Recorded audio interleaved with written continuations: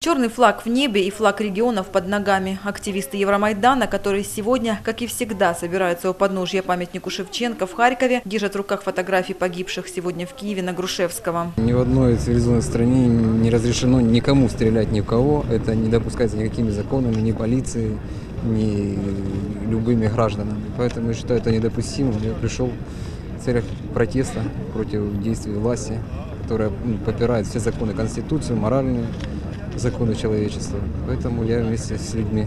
Я чувствую свою необходимость прийти, потому что я про- протестую против того, что сейчас происходит в Киеве. Ну, я, конечно, за мирный вариант решения этого вопроса, но если...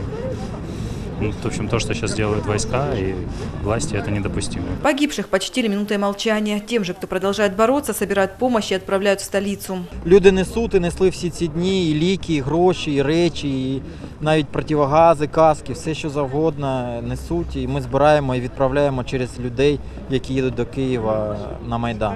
Автомобили отправляются на столичный Евромайдан регулярно, говорит Чистилин. Поэтому всех желающих помочь протестующим харьковские активисты приглашают к памятнику Шевченко, где Принимают вещи и лекарства. Татьяна Датяк, Владимир Борох, агентство телевидения новости.